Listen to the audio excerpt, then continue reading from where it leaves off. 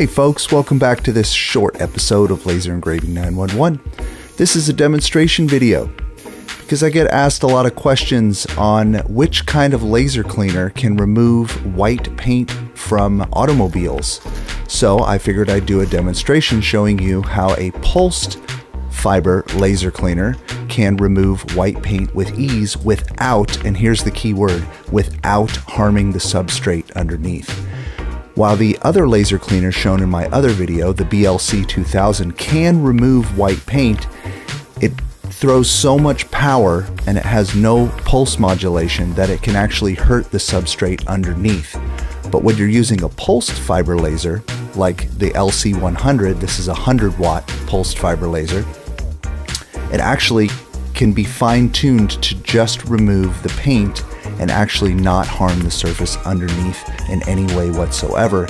And what's really great about using the pulse fiber laser is it actually creates a surface profile on the metal underneath that is perfect for adhesion for your brand new paint that you're going to put back on the metal.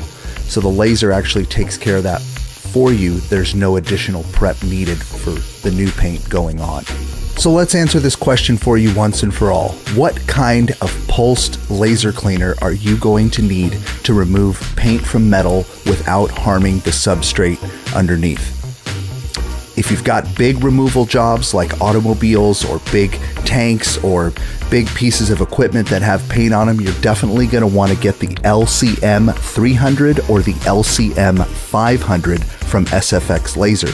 Those are big boy pulsed laser cleaning units. And if you've got smaller jobs, maybe parts that are no bigger than the size of a loaf of bread, you could definitely get away with using the LC100 backpack portable laser cleaner like I'm using in this video. You need to pick the right tool for the job, but most importantly, if you're going to be doing paint removal and you've got white paint, you're definitely going to be wanting to use a pulsed fiber laser cleaner from SFX Laser. And I've listed links below in the description for both of these units. And if you have any questions, please feel free to reach out or comment on this video, and I'd be happy to answer any more questions you have. Thanks for watching.